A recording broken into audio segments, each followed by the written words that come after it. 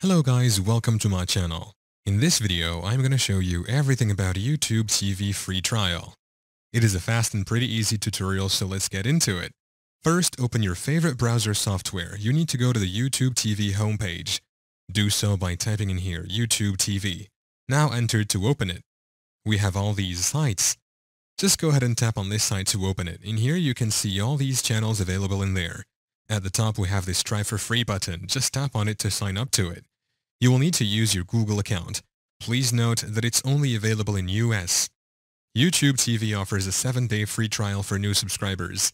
Here's a breakdown of what you need to know also.